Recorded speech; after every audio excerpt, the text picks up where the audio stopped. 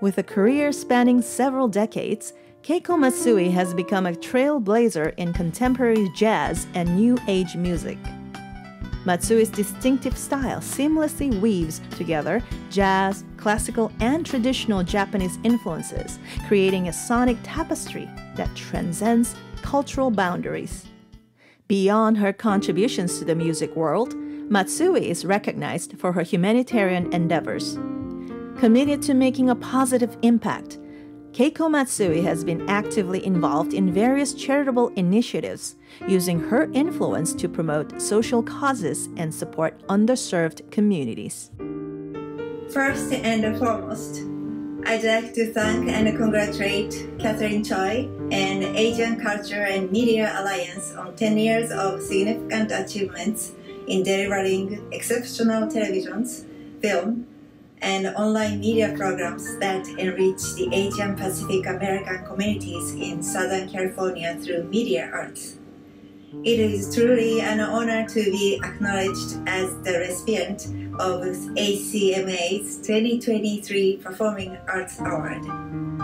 Regrettably, I'm unable to accept this award in person as I find myself currently overseas. Nevertheless, my gratitude is profound and I extend my warmest congratulations to all the other distinguished award recipients. I've been traveling to many different parts of the world for my concert tour over 30 years. At the concert, always I feel very fortunate because music connects us beyond all the differences, like religion, languages, culture and just we can put our mind together through music. I'm so grateful. My latest album called Euphoria captured my emotions and thoughts. I believe that now we are standing at beginning of a new era and from now on we can focus on your own happiness.